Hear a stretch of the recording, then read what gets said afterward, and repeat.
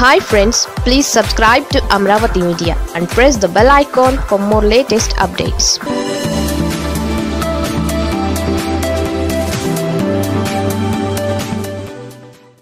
Butchaiah వ్యూహం fail అయినట్లేనా?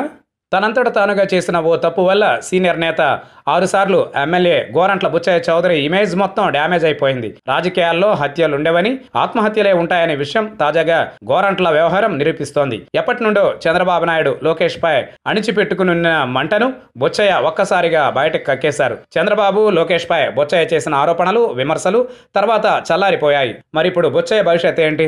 ఇప్పుడు ఇదే అంశంపై పార్టీతో పాటు జనాల్లో చర్చలు జరుగుతున్నాయి. పార్టీ ఆత్మగౌరవాన్ని కోల్పోయిందని తనను ఉద్దేశపూర్వకంగా తండ్రి కొడుకులు అవమానించారు. అవమానించారంటూ గోరంట్ల గట్టిగానే తన వాయిస్ వినిపించారు. ఇక్కడ గమనించాల్సిన విషయం ఏంటంటే పార్టీ టీడీపీలో ఆత్మగౌరవం లేదని బొచ్చయ్య కొత్తగా చెప్పాల్సిన అవసరం లేదు.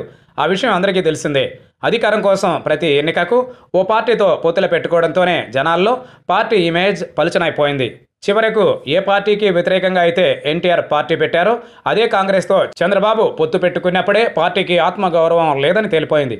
పైగా రెండు వేల పంతొమ్మిది ఎన్నికల తరువాత పార్టీని వదిలేసిన నేతల్లో కొందరు ఇదే విషయాన్ని గట్టిగానే చాటి చెప్పారు. కాబట్టి ఆత్మగౌరవం అంటూ ఇప్పుడు బొచ్చయ్య గొంతు చించుకోవడంలో అర్థం లేదు. ఇక తాను ఫోన్ చేసినా తండ్రి కొడుకులు మాట్లాడలేదనే విషయాన్ని స్వయంగా బొచ్చయ్య చెబితేనే లోకానికి తెలిసింది. అంటే పార్టీలో తనకు జరిగిన అవమానాన్ని తనంతట తానే బయట పెట్టుకున్నారు.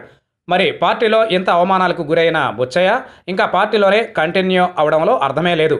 తనతో మాట్లాడడానికి కూడా చంద్రబాబు లోకేష్ ఇష్టపడడం లేదని చెప్పుకున్న తర్వాత కూడా ఇంకా బుచ్చయ్య పార్టీలో ఎలా కంటిన్యూ అవుదామని అనుకున్నారు అర్థం కావడం లేదు. తండ్రి కొడుకులతో పాటు పార్టీకి కూడా బుచ్చయ్య పెద్ద డ్యామేజ్ చేశారు. మరి అలాంటప్పుడు పార్టీలోనే కంటిన్యూ అయినా బుచ్చయ్యకు ఏమి మర్యాద ఇస్తారు? గోరంట్లకే పార్టీలో దిక్కు లేనప్పుడు ఇక ఆయన మద్దతుదారులకు ఏముంటుంది మొత్తానికి తన ఇమేజ్ని తనంతట తానే బుచ్చయ్య డ్యామేజ్ చేసుకున్నారు. డెబ్బై ఆరేళ్ళ వయసులో పార్టీ అధినేత ప్లస్ కొడుకుపై బహిరంగంగా ఆరోపణలు విమర్శలు చేసిన బుచ్చయ్య ఏం సాధిద్దామని అనుకున్నారో ఎవరికీ అర్థం కావడం లేదు. ఈ వయసులో టీడీపీని వదిలేసి ఇతర పార్టీల్లోకి వెళ్ళే ఉద్దేశంలో ఉన్నారేమో తెలియదు. ఏ పార్టీలోకి వెళ్ళినా వయసు రీత్యా రాజకీయంగా బుచ్చయ్యకు గొప్ప భవిష్యత్తు ఉంటుందని అనుకునేందుకు లేదు. బుచ్చయ్య రాజకీయ వ్యూహాలు ఎలా ఉండబోతున్నాయో చూడాల్సిందే.